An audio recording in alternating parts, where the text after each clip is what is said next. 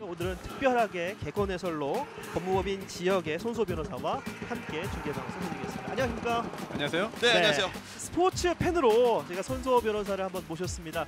자, 아무래도 이제 전체적으로 K리그를 그 예전부터 정말 좋아하셨다면서요. 어 그렇죠. 네. 네. 어릴 때부터 정말 축구장 다니면서 그 봤던 K리그 이름 명칭은 여러 번 바뀌었지만 많이 발전한 것 같아요. 어. 오늘 이 축제 현장에 함께 할 수 있어서 정말 큰 영광입니다. K리그 스카우팅 리포트 강성주 형 같이 또 책을 썼더라고요. 어, 제가 뭐 축구인도 아니고 스포츠 전문가는 아니지만 또그 팬들의 시선이나 시각도 어느 정도 또 필요하거든요. 아하. 네 그런 부분은 또 제가 담당을 또 했습니다. 아, 팬이라고 하기엔 너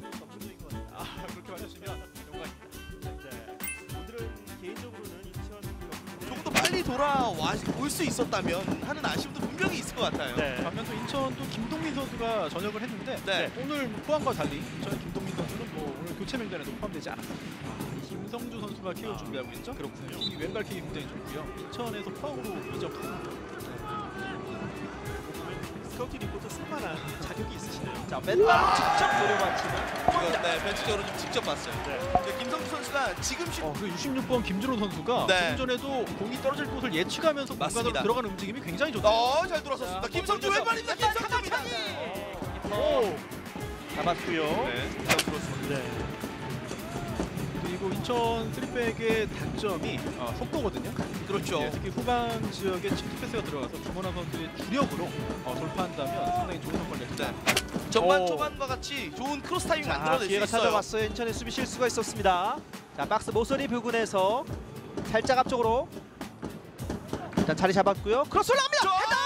안 맞아요. 슛! 뜨거워합니다. 김준호의 헤더도 맞지 않았고